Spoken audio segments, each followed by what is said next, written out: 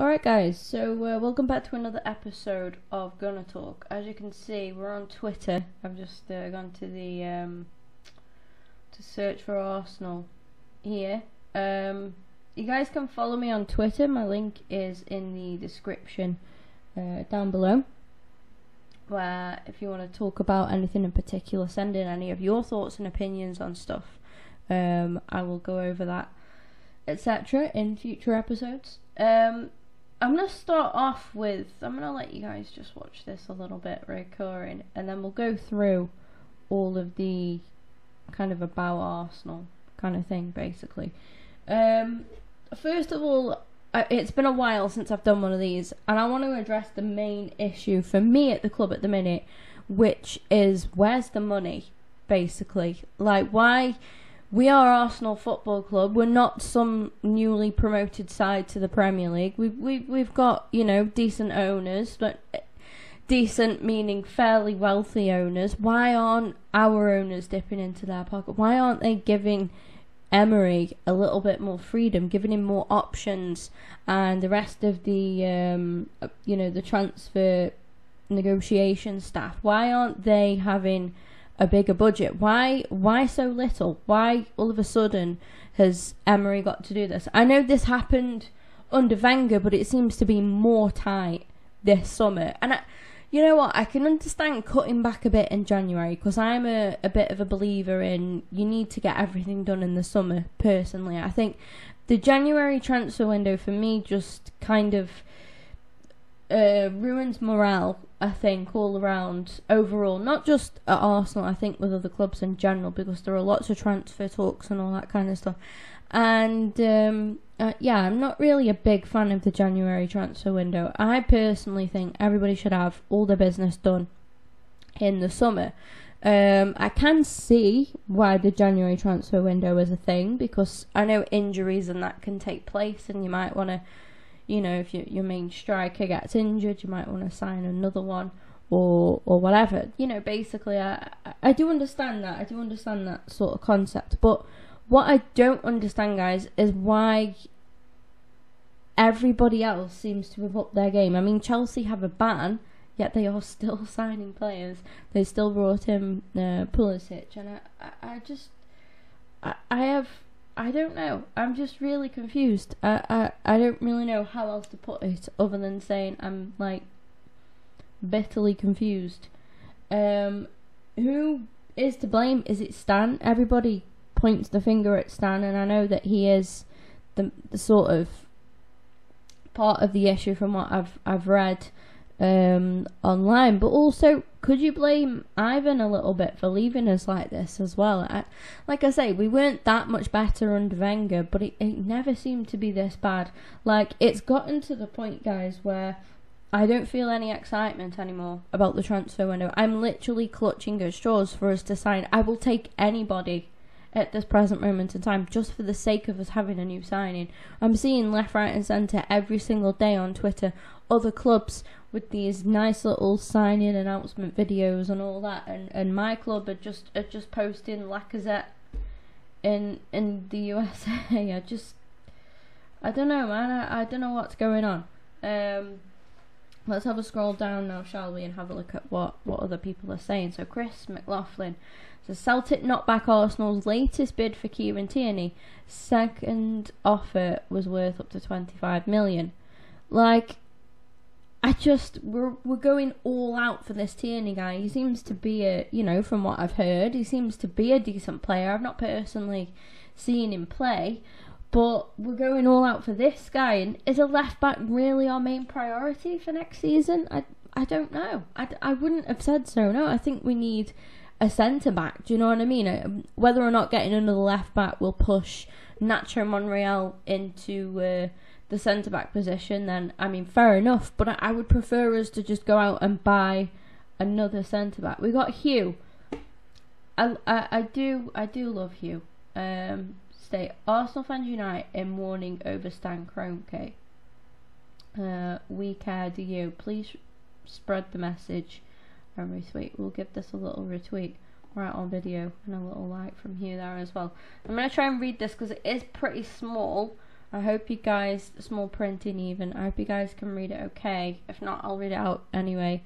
Um, as Arsenal fans, we have watched with frustration as the team's football performances have declined over the past decade. When Stan began buy, began buying Arsenal shares, the club had just completed competed in a first Champions League final. Right, okay. I didn't actually know that. 12 years on, Arsenal are about to play in the Europa League for the third year running. It is. It's. It's true. It's. I mean that those that fact right there. Those facts right there. They don't lie. And do you know what? That opening statement actually shows so much at what Stan has done to this football club. Actually. Um. So fair play. Let's let's read on a little bit. Off the pitch, fans have never felt more marginalised. Agreed. Uh, less listened to or valued. This was sadly illustrated when Stan forcibly bought out the last remaining supporter uh, supporter shareholders without even a word of appreciation for their custody custo, custodianship. I'm sorry, I've never heard of that word before. Role in the club. Fair, you know, fair enough. Yeah. Uh, it feels as though Arsenal is at a crossroads. Things need to change. When all, uh, what all of us basically, yeah, signatories to this statement want to see is meaningful action by Stan to basically, yeah, turn the club back around or to just go, I say personally. Um, I don't know if I should read all of this out, this is kind of long. Basically, this requires work to strengthen the club's board and football um, executive and to once again make Arsenal a place where fans have a real sense of belonging. I get that, and I think, you know what, I've given them a lot of stick over the years, but I'm willing to turn over a bit of a, a leaf with, with um, Arsenal fan TV and that, because you know what? Even if I don't agree with their methods of, of constantly bashing players and stuff, and it's not all of them, I have to say, it's not all of them, but I, that was what threw me the most. Is I feel like we gave a lot of harsh criticism to players who didn't necessarily deserve it, you know. And um, uh, I have to say, I think I've turned over a leaf with them. I'm not gonna say that I'm gonna sit there and watch it all the time, but I'm not gonna.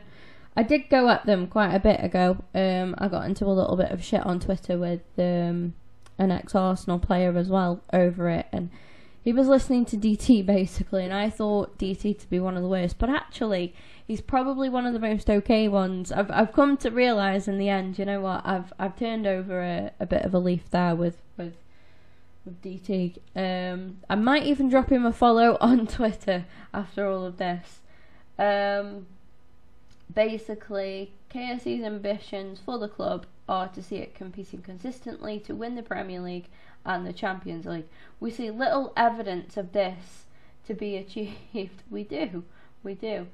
Um, instead, our club feels like an investment vehicle personified by the owner's statement that he didn't buy Arsenal to win trophies. I know, which is just a big no no anyway. Why? I don't get, you know, why we would want somebody like that leading, you know, at the face of our our club really it, it baffles me.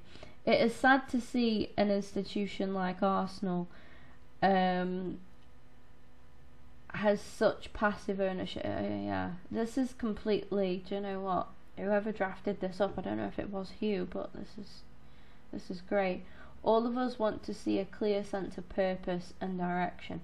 KSE should start by being more open and accountable and explain how they intend to achieve the goal of winning the game's major trophies. If Stan is going to be absent from London, he needs to make sure the board he delegates to is fit for purpose. Yeah. Um, there is a desperate need for some new and dynamic appointments. The addition of independently minded directors can act as a genuine check and balance on the owner. Ideal candidates would have football and commercial expertise relevant to the needs of a football club in 2019 and ideally some Arsenal DNA, definitely. Um, Arsenal has invested money in recent years, but their approach to both buying players and play, paying wages looks uncoordinated. The Aaron Ramsey situation is a prime example of this with the wages. Um, the buying players, oh God, it, it just goes on and on. I mean, this transfer window, I, I said this before, like, to go from being linked to, like, Ryan Fraser, who I, I would still take now, to be honest. I don't think he's a bad player, but we've been from being linked to like Ryan Fraser, it, you know, to Yannick Carrasco, then to Zaha. Excitingly, now it's like Saliba, who looks like he's gonna be hijacked by Spurs. It's just a, it, it's it's an absolute shit show. It is an absolute shit show. We are, you know, honestly, a mockery at the minute. We are. you just can't take us seriously. You really can't. Um, and appears to lack strategy definitely. There, there has also been a lot of turnover in the senior football personnel. A strong board would be proactively managing this. Yeah. Next, we have on a match day, the Emirates can be a, a soulless place. Christ, they went in. Whoever wrote this, they went in. Um, the atmosphere is poor, and there are thousands of empty seats, blighting almost every game definitely, yeah.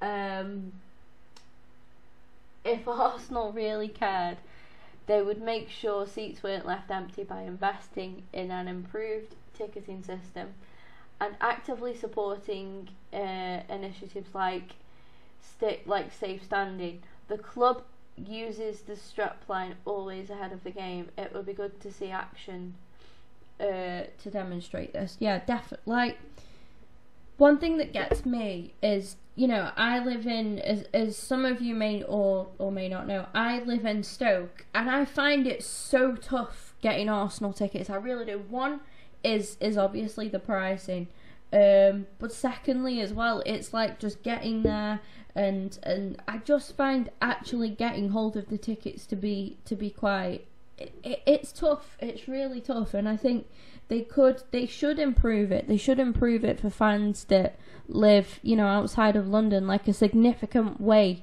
outside of london as well like myself. And um, i know that we have large groups of fa- of, of supporters in in ireland um, also in like scotland. And I, I, you know it'd be good if if um, the club did something more for those supporters to help us be able to get to games better, organise some sort of coach that would, you know, run through or whatever. I just, you know, anything, literally anything more. Because um, all I've ever seen uh, on ways of like transport and stuff is like fans themselves that have set it up and not really anything that's come from the club, you know, which is just really bad to be honest. It, it really, really is bad.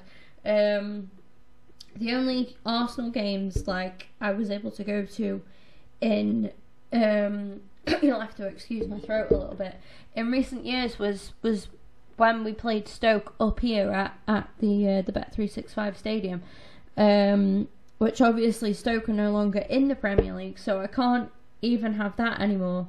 Um, but yeah, it is it is tough. It it is really tough. Finally, um, the very pr- fabric of football in England and across Europe is a threat from proposals for a European Super League.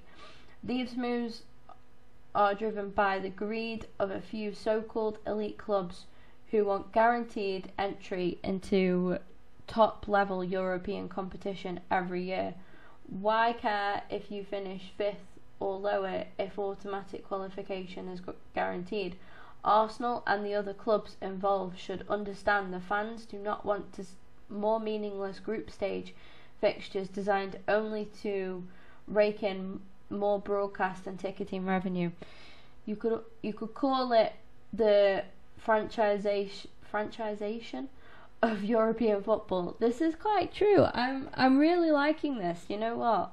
Um, Arsenal should immediately clarify that they will have no part in this. As Arsenal supporters, we care deeply.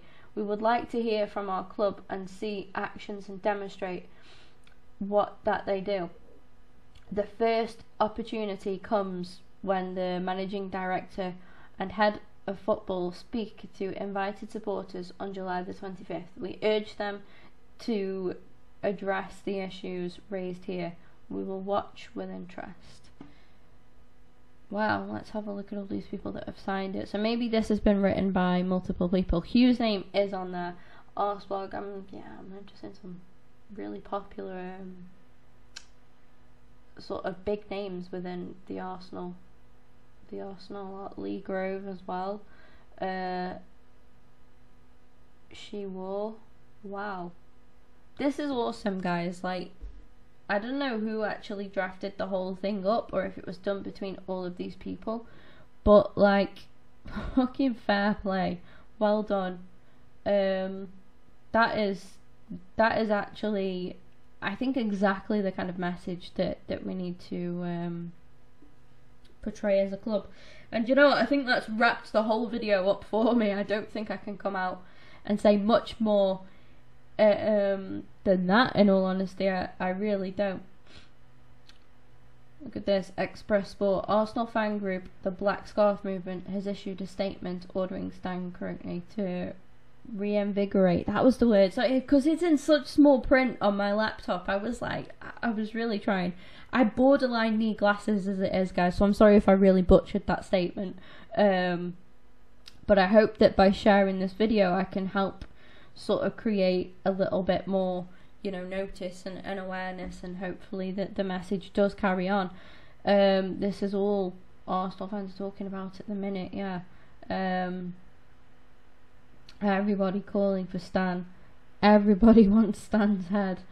It's it's mad, but it's finally. Do you know what? It is finally good to see us all united.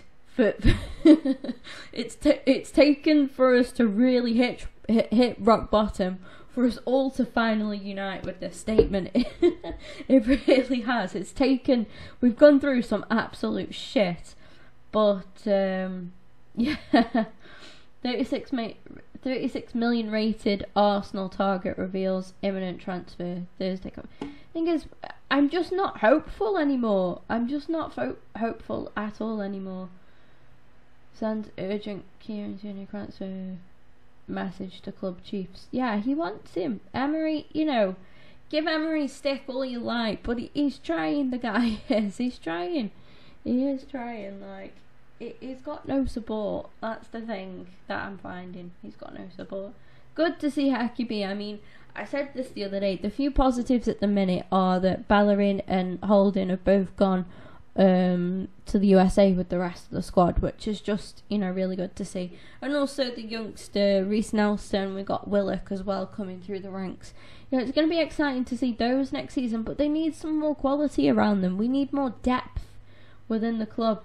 Statement released today sees a broad group of Arsenal fan organisations, bloggers, and prominent individuals all agreed and concerned about the way our club is going to be run. I love it. I am absolutely loving this right now. This is the most united I've I've seen Arsenal fans on a whole come in such a long time. I can't even like this. It is. This has been a long time coming.